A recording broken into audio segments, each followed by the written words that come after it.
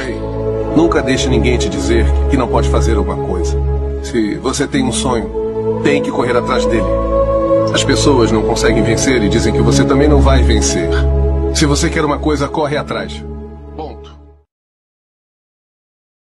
que você chama de não tem saída, Deus chama de milagre. Uma forma de você ver Deus agir como nunca antes. O que você chama de não tem mais jeito, Jesus chama de eu sou a saída. Você chama de conforto, Deus chama de perda de tempo. Não fique nesse lugar, se mova. O Deus vai mover. Talvez doa, mas não se esqueça. Romanos, capítulo 8, versículo de número 28.